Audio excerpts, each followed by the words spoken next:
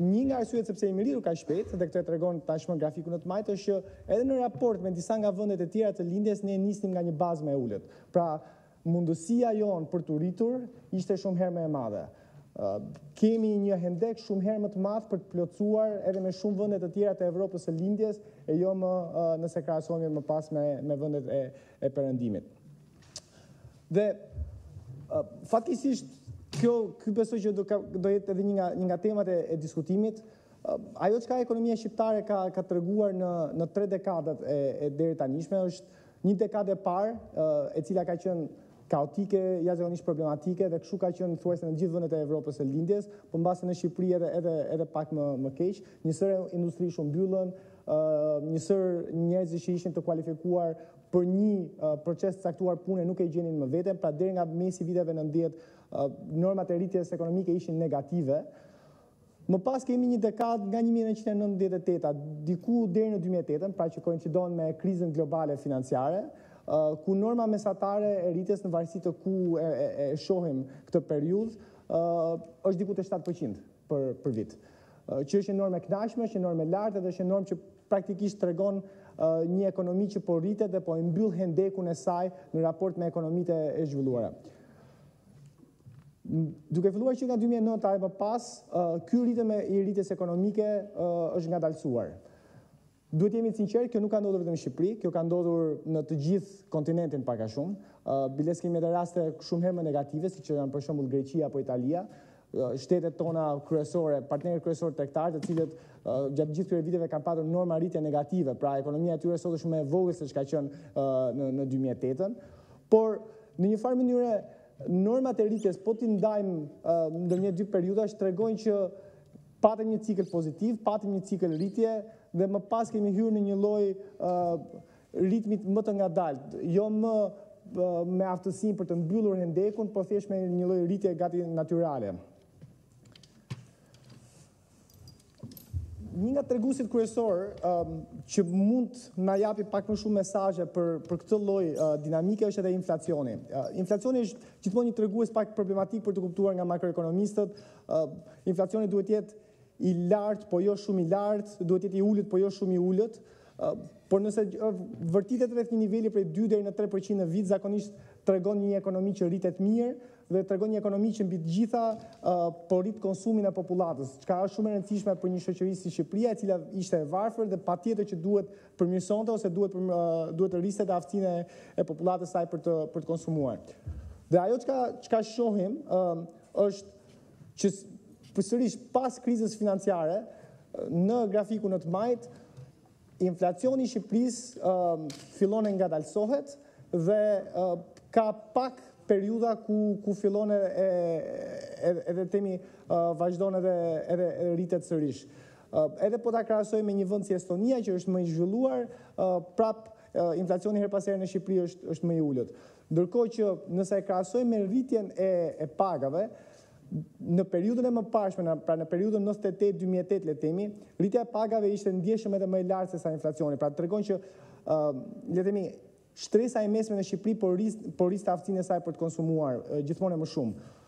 2008 e më pas, aftësia, aftësia ose le të themi tendenca e shtresës së mesme në Shqipëri për të konsumuar gjithmonë e më shumë ka filluar edhe edhe ngadalësohet. Pse ndodhi kjo rritje? Kuptohet që ky është një debat i madh mes ekonomistëve, jo vetëm në Shqipëri, po kudo,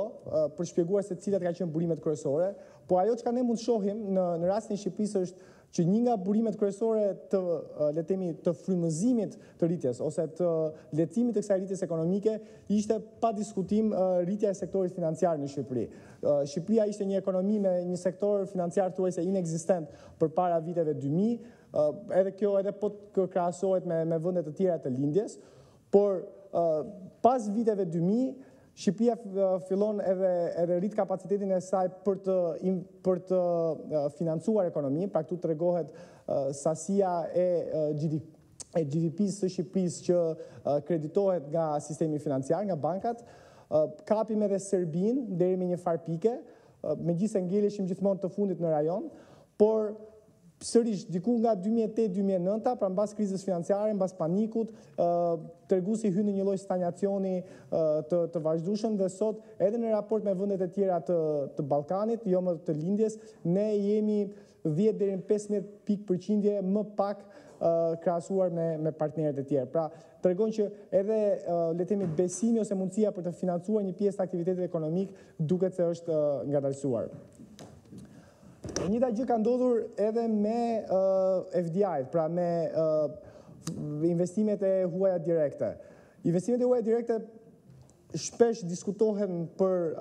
le të themi, të mirat që i sjellin një ekonomie,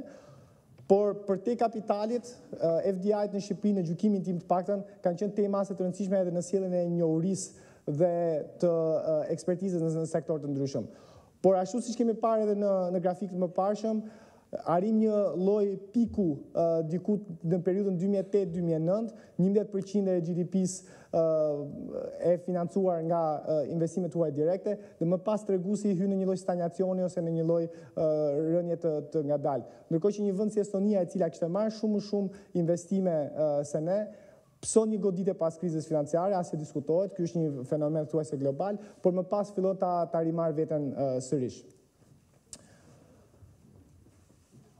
Çfarë bënë shqiptarët me gjithë këto para? Ku sh ku shkuan paratë e, e shqiptarëve? Me pak fjalë shkuan në infrastrukturë. Nëse shohim tregus të infrastrukturës publike apo private, duket qartë që një pjesë e madhe e kreditimit ose shkoi në investimet në përmirësimin e rrugve,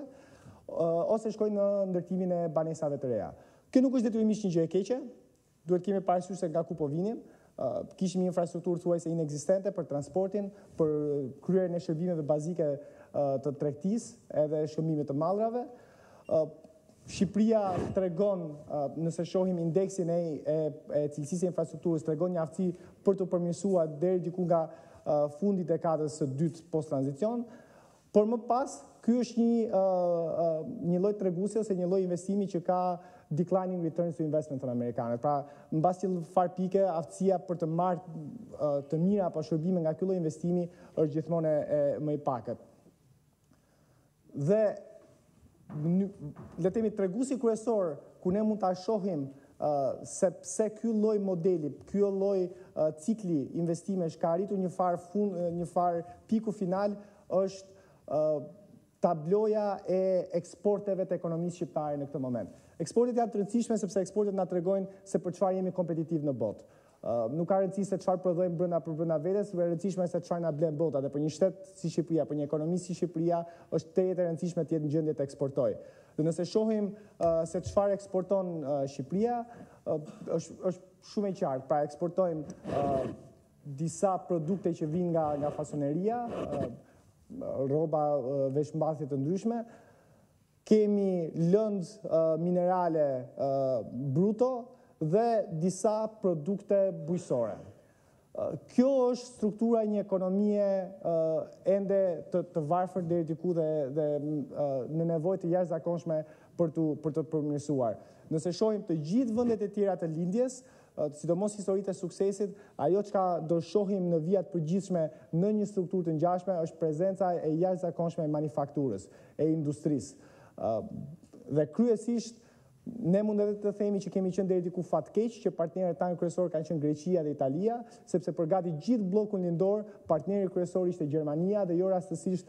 te trendet e tyre ekonomike pavarësisht le të themi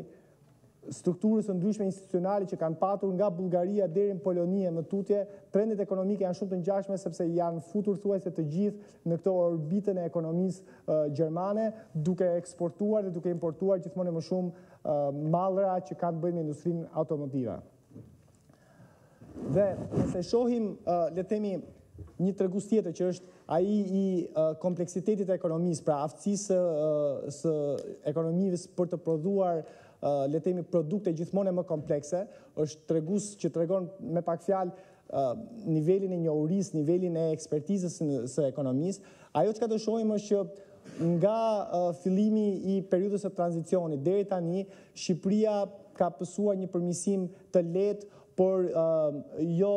diçka për cilën duhet të ishte... Ne do të shkëputemi tani për një hapësirë publicitare.